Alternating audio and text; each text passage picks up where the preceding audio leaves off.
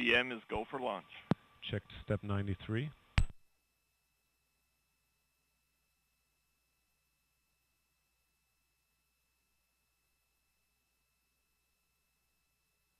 T minus 30 seconds and counting.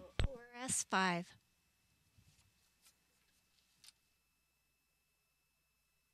Minus 20.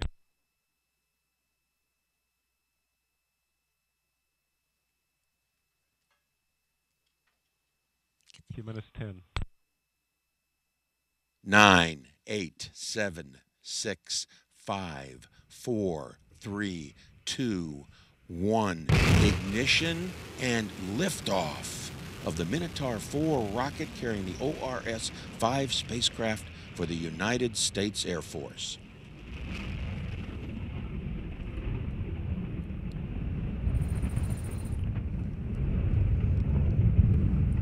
Goal supersonic. Check 94, 95, 96, 97. Avi- vehicle avioni- avionics power is nominal.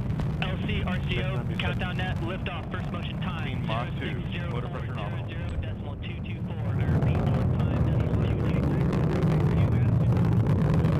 RCO. Passing Mach 3 at maximum stage 1 thrust of 534,000 pounds.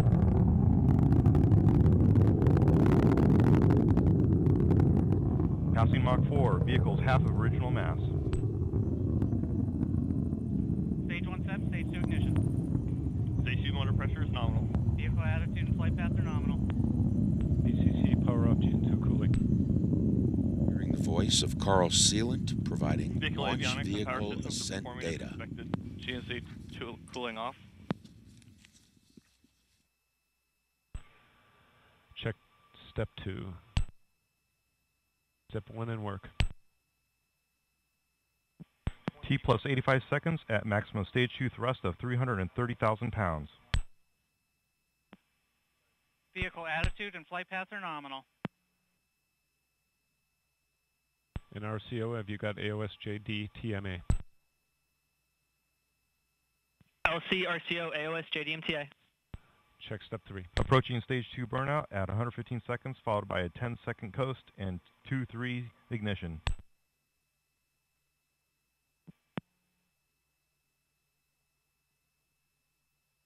Stage 2 burnout.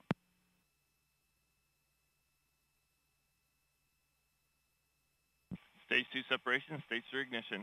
Stage 3 motor pressure nominal. Vehicle attitude and flight path are nominal. Vehicle is approaching the stage 3 gate.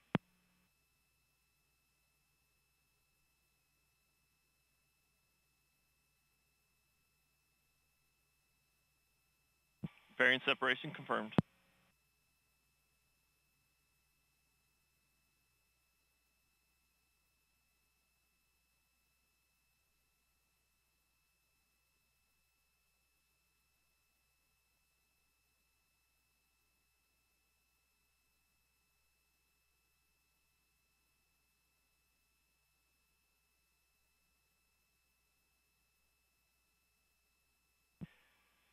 Vehicle attitude and flight path are nominal. Plus 3 minutes.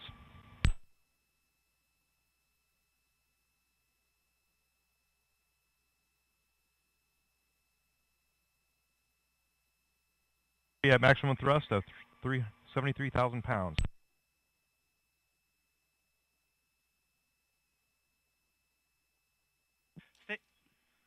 Stage 3 burnout. Guidance solution converged. Stage 4 ignition will occur at T plus 831 seconds.